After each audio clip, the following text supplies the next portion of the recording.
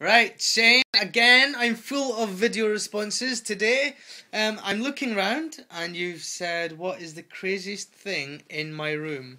Um, I've literally just watched it, so I'm looking around and I am stuck between two things, right? I'm going to show you around this room.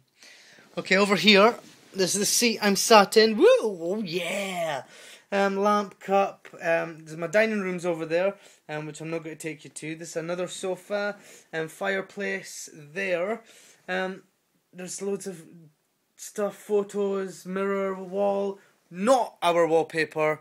Um, we still need to decorate. We've been here for three years, but we will decorate soon. And I promise it won't look so old because we're young. We don't look this old. We this isn't our taste. Um, the furniture is the the the, the room's not.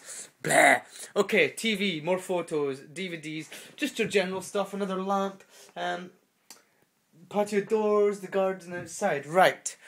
The two things I'm stuck between are this little baby, which I've used for a couple of my videos. Um, he's a Care Bear, I think. I got him when I was about um, 10 or 11.